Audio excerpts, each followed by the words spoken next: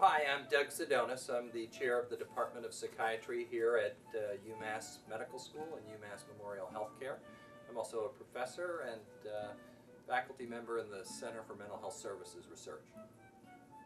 Uh, I, have been doing research uh, for the last 25 years as it relates to wellness, uh, particularly the area of smoking. When I started to do research in smoking and mental illness, uh, People didn't think that was an important topic, but now it really has resonated that it is important.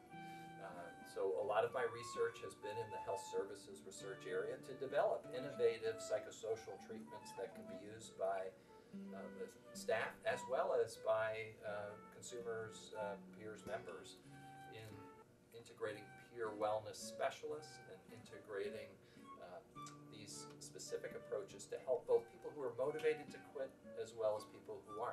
Uh, as an example, one of the manuals that we've created is the Learning About Healthy Living Manual.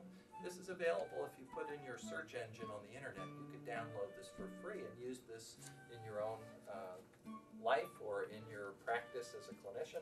Uh, as a peer wellness specialist, you could in integrate this into the work.